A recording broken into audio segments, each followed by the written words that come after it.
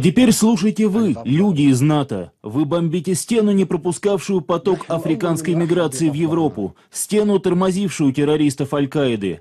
Этой стеной была Ливия. Вы разрушаете ее. Вы идиоты. За тысячи мигрантов из Африки, за поддержку Аль-Каиды, гореть вам в аду. И так оно будет. До 1968 года Ливия была монархией, и 70% населения было за гранью нищеты, неграмотно и проживало в убогих бедуинских палатках.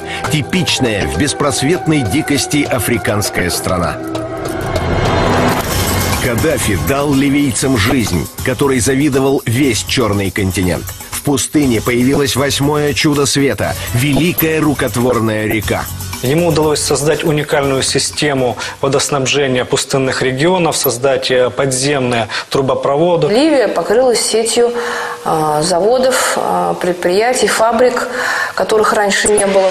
Из палаток ливийцы, не заплатив ни динара, переехали в многоэтажные дома. При этом квартплаты в стране не существовало. Все, включая потребленную электроэнергию, оплачивало государство.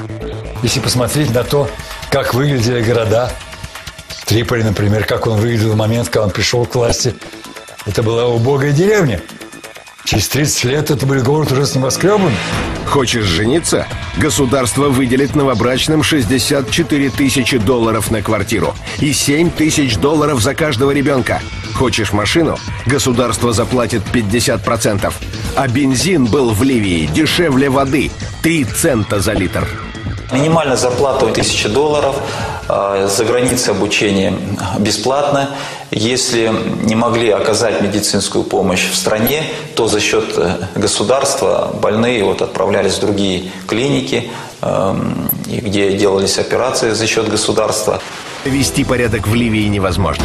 Эта страна так и останется землей, порванной на клочки царьками бедуинских племен, которые не хотят договариваться и подчиняться кому-то одному.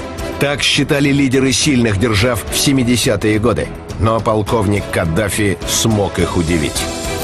В единую страну ему пришлось сшить 140 племен, у каждого из которых был свой лидер, которого нужно было либо насмерть напугать, либо купить.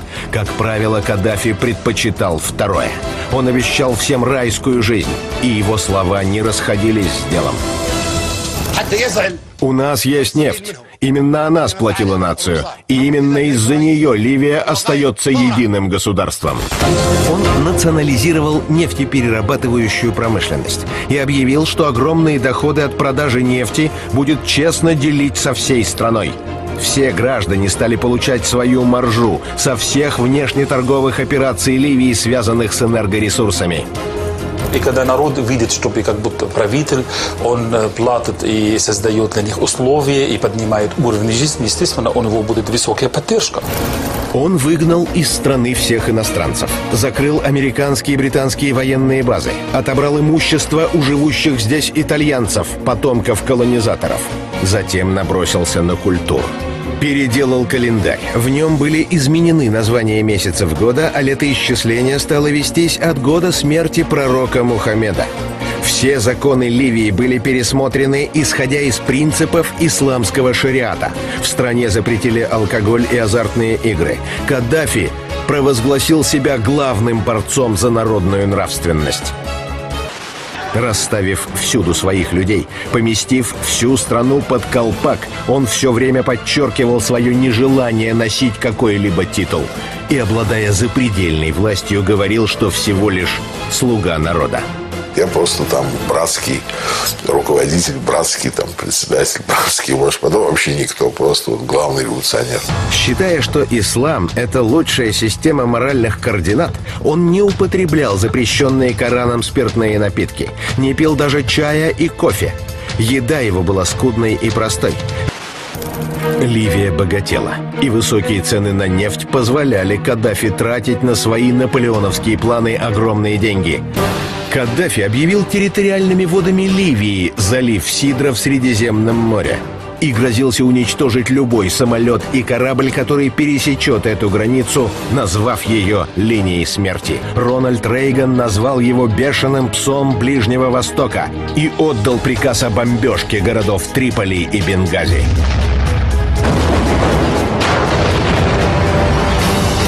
Операция США называлась «Каньон Эльдорадо» и длилась всего 11 минут.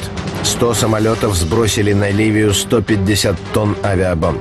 И хотя основной целью был дворец Каддафи и стратегические военные базы, погибли ни в чем не повинные ливийцы. Маленькая страна, жизнь в которой была сытой и сонной, испытала шок. Но Каддафи остался жив. Убить его оказалось непросто.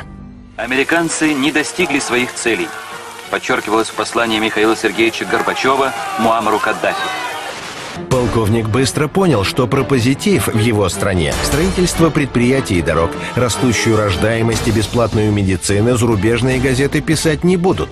Журналисты любят жареные факты, что-нибудь из ряда вон. И он беспрерывно снабжает их материалом для интересных публикаций. Он все больше и больше становился таким креативщиком какие-то вот такие фокусы, какие-то там шатры, какие-то вот одежды, какие-то женские такие вот батальоны охраны возле себя. Всю жизнь он писал огромный теоретический труд, свою «зеленую книгу». По сути, Библию ливийского народа, в которой он говорил, что ливийцам не подходит ни коммунизм, ни капитализм. Коммунизм – это отрицание Бога, капитализм – отрицание человека. Нужен третий путь. Демократия – это липа. Представительство – это липа. Политические партии – это липа. Правительство – это липа. То есть он считал, что демократия на самом деле только видимость того, что народ правит. Видимость. Поэтому он ввел нечто вроде советской власти. Знаете, как у нас в первое время тоже. Вся власть – совет. В 1992 году Совет Безопасности ООН ввел против Ливии санкции. У страны перестали покупать нефть и были заморожены активы за границей. Как вернуть расположение мирового сообщества, Каддафи думал 10 лет и решил его купить. Встречался с ним в 2007-2008 году еще, когда э, кризис мировой финансовый разразился. И я помню последние слова, которые он мне сказал. Говорит, Кирсан, вот я единственную ошибку в своей жизни допустил, это то, что я поверил американцам, то, что я поверил э, западникам. Кандализа Райс, Тони Блэр и Саркози убедили его свернуть все военные программы в обмен на свою лояльность. «Сдай оружие и станешь членом нашего клуба».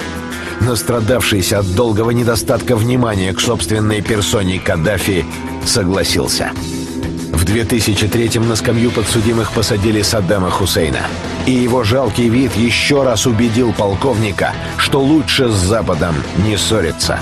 В 2010 году он Обаму обнимал, называл своим ближайшим другом, братом, там, чем угодно. Саркози деньги давал.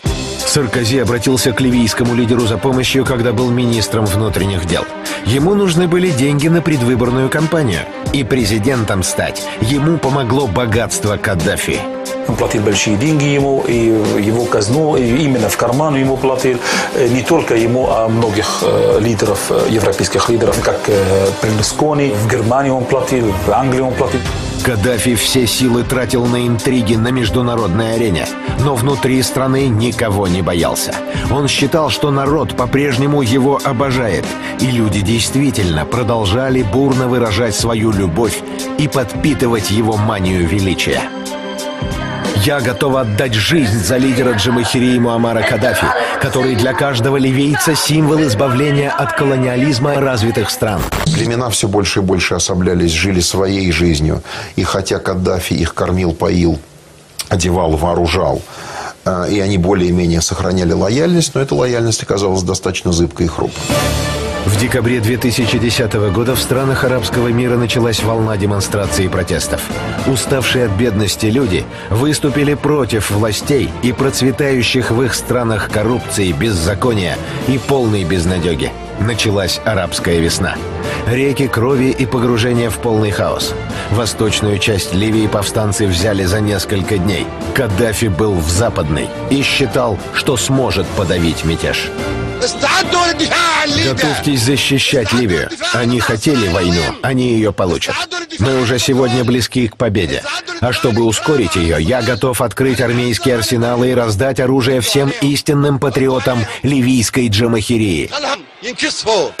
Сначала он говорил, что это всего лишь группы молодых наркоманов, которые нападают на полицейские участки и воруют оружие. но вскоре понял – пахнет настоящим государственным переворотом. А защищать его некому. Он сам развалил свои вооруженные силы. Первый выступил президент Саркози. Он бросил французскую авиацию в бой.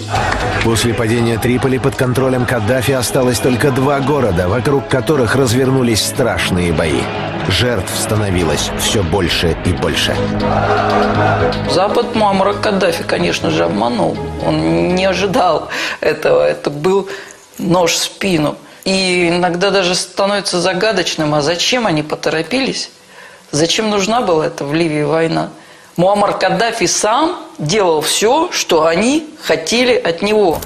Это была унизительная казнь. Уничтожали Каддафи как личность, как мужчину, как солдата, э, как правителя, э, как лидера. Всасывают эту версию, естественно, западные средства массовой информации, американцы, французы, потому что для них это еще и, собственно говоря, а, предмет унижения, собственно, страны. Они утверждали, что ливийцы вот таким образом расправились со своим лидером, потому что они дикари, потому что они там существа низшего порядка. Никогда в мировой истории смерть человека не вызывала такое количество восторгов. Радовались тысячи простых людей, когда-то обожавших Каддафи. Хиллари Клинтон, услышав сообщение о гибели Каддафи, сказала «Вау!». Вау! Посол США в Ливии сфотографировался у тела диктатора с отогнутым пальцем. Ливия избавилась от режима Каддафи, Ливия избавилась от семьи Каддафи, Ливия избавилась от зеленой книги и зеленого флага. Она получила взамен отсутствие единой страны, отсутствие системы управления, перманентная гражданская война, тот кошмар, которого не мог предполагать ни один самый, как сейчас принято говорить в молодежной среде, безбашенный революционер.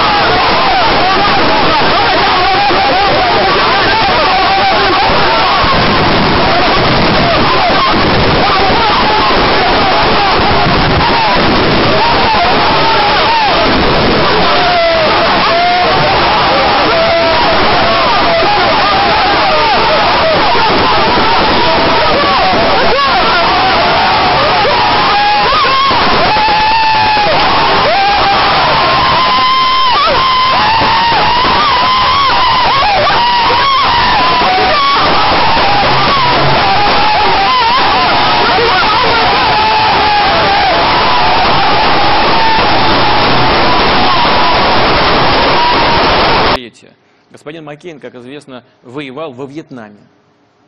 Я думаю, что на его руках достаточно крови мирных граждан. Ему очень нравится, наверное, он не может убежать уже без этих сцен, ужасных, отвратительных сцен расправы с Каддафи. Когда на экранах всего мира показали, как его убивают. Всего в крови. Это что, вот это демократия? А кто это сделал? Беспилотники, в том числе американские, нанесли удар по его колонне. Потом по радио через спецназ, который не должен был бы быть там на территории, подогнали так называемых оппозиционеров и боевиков. И уничтожили без суда и следствия. Кто говорит, что он должен был оставаться там? Но надо было предоставить это все-таки э, решать народу на, э, путем э, демократических процедур. Да, это сложно, да, это требует времени, но по-другому невозможно. Colonel Gaddafi told Tony Blair that jihadists would control the Mediterranean and attack Europe if his regime was allowed to collapse. The warning was revealed in released transcripts of telephone conversations between the two leaders from February 2011. They are armed gangs who have weapons, not decided to face them with force, asking their families to convince them to lay down arms. You can't reason with them. They keep saying things like Muhammad is the prophet, similar to bin Laden. They are paving the way for him in North Africa. They want to control the Mediterranean and then they will attack Europe. Need to explain to the international community. Gaddafi's prediction was made into two desperate telephone calls with Blair as the civil war was engulfing Libya. Three weeks later, a NATO-led coalition that included Britain began bombing raids that led to the overthrow and eventual killing of Gaddafi. ISIL now controls large parts of Libya. В Ливии там все довели до того, что вашего посла убили в Ливии. Мы что ли это сделали? Приняли решение в свое время э, Совете Безопасности. О чем? З- Значит, бесполетную зону сделать. Для чего? Для того, чтобы не могли летать э, самолеты Каддафи и бомбить э, э, боевиков. Тоже считаю не самое лучшее решение. Ну ладно. А, а что на самом деле сделали? Начали сами наносить удары, в том числе и по территории. Явное, грубое нарушение э, резолюции Совета Безопасности ООН. Практически агрессия без всякой резолюции. Это мы что ли сделали? Это же вы сделали своими руками. А закончилось чем? Убийством вашего посла. Кто виноват? Сами виноваты. Вот это хорошо для США, что посла убили. Ужасно, страшная катастрофа. Но не нужно искать виноватых, если сами допускаете ошибки. Нужно наоборот подняться над, э, над э, вот этим э, желанием бесконечно доминировать и исходить из вот этих имперских амбиций. Не нужно отравлять сознание миллионов людей тем, что другой политики в Соединенных Штатах быть не может, кроме имперской. Tomorrow. Thanks. Wow. Huh. Unconfirmed. Yeah. Unconfirmed. No. Unconfirmed reports about Gaddafi being captured. Unconfirmed. Yeah. It- yeah, We've had too many, we've, we've had a bunch of those before. We've had, you know, have him, have had him captured a couple of times. So, I mean, that is the land of unconfirmed reports. Yes, we came, we saw, he died. Did it have anything to do with your visit? No, oh, I'm sure it did.